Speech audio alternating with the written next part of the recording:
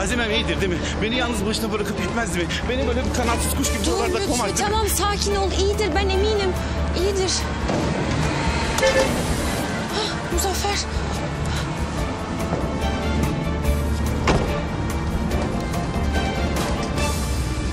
Ne oluyor? Nasıl bir araya geldi bunlar? Tuğba eve mi geldi? Bilmiyorum Muzaffer ben hiçbir şey bilmiyorum. Ben hiçbir şey bilmiyorum Muzaffer. Lütfü eve geldi mi Tuğba?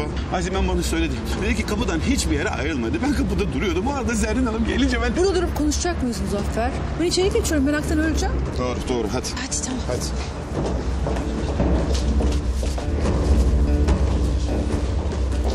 Ey Allah'ım nerede bu? Ha. İyi günler hanımefendi. Ee, trafik kazasında yaralanan iki kadın getirmişler. Neredeler? Müşahede odasına aldılar. 208 numaralı odadalar. Müşahede odası 208. Tamam. Azime'nin sesi mi? Yaşıyor. Yaşıyor iyi. Azime. Şurada. Ay. Kamyon çarpmış gibiyim ya. Bütün etlerim kopuyor.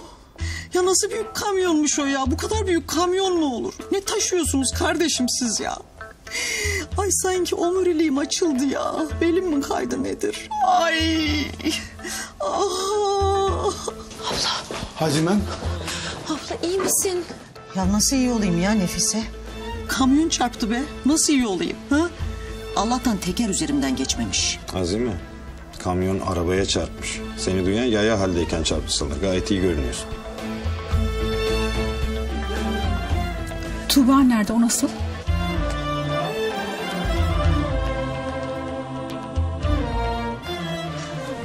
Azimem iyisin değil mi?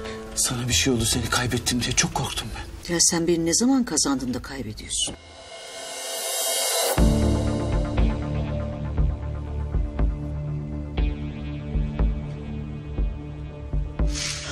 Tuğba?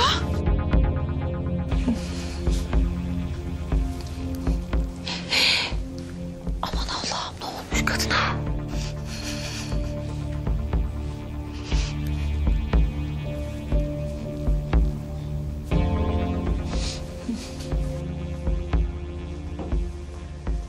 Ya kaza işte kamyon çarptı da kamyondan e, kopan o camlar falan hep buna batmış.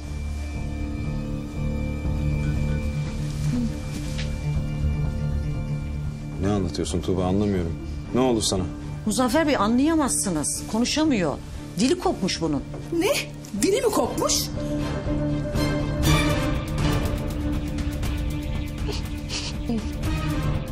Evet çok garip değil mi?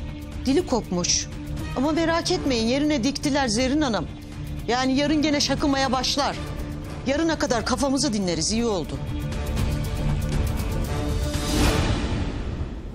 Azime. Senin Tuğba'nın arabasında ne işin vardı? Ha evet Azime. Niye aynı arabadaydınız? Nereye gidiyordunuz?